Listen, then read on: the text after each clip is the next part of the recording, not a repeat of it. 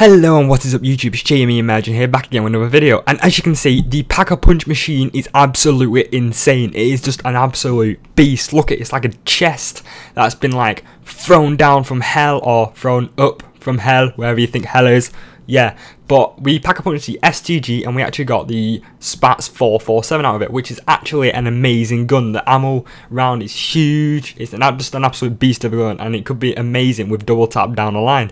Um, the new pack a punch camo is insane. It's like an ice type of like. It looks like it's in like water's inside the gun, kind of, and it's like starting to freeze up. It, it's quite strange, really. Um, it's like a Tron kind of effect, but it's quite cool. It's like a water gun. but yeah, it's absolutely insane. Hope you do enjoy this video, guys. More to come. Comment, rate, subscribe. Peace.